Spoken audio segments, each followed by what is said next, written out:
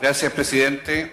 Las palabras de mis predecesores creo que han sido muy elocuentes y solo quiero decir de que a pesar de que en un diario se ha puesto en tela de juicio los feriados regionales o comunales y se ha generado algún ruido sobre este tema, esta es una conmemoración, no es una celebración, es una conmemoración de un drama porque el desastre de Rancagua significó un triste recuerdo, heroico sí, pero para la ciudad de Rancagua con más de 700 soldados muertos y una situación que fue, yo diría, secuelar en el resto de la historia de nuestra región.